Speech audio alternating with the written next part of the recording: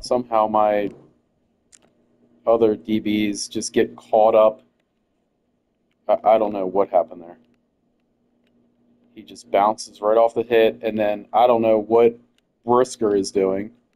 He comes in like diving all kinds of weird, and then of course he's gone. No one comes even close. to catching up to Brock Bowers.